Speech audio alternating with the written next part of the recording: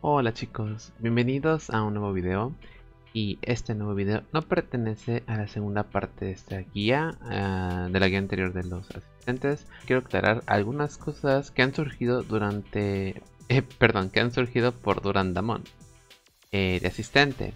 Y es un error en la escritura china en la habilidad este, naranja más 3, ¿vale?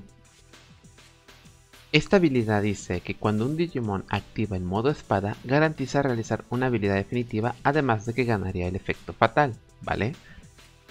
Pero nunca se ha visto hasta ahora en el global que un aliado al activar el modo espada realice dos habilidades definitivas o que recupere toda la furia para poder realizar definitiva.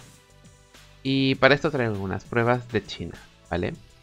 Aquí podemos ver cómo eh, Anjibumon y Belstarmon están activando el efecto espada eh, al momento de que son atacadas, ¿vale?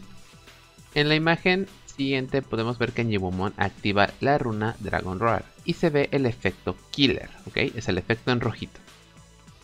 Después en la imagen 4 y 5 vemos que Anjibumon realiza definitiva y aparece el efecto fatal en su habilidad.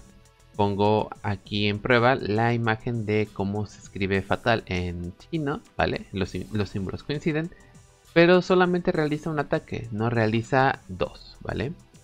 Otra prueba es que aquí tenemos que Ofanimon está activando el modo espada cuando Jasmine X la ataca. Sin embargo, en el turno de Ofanimon ella no recupera la furia para realizar su ultimate skill como decía la habilidad de Durandamon de asistente. Entonces, ¿Qué hace la habilidad a Orange 3 de asistente?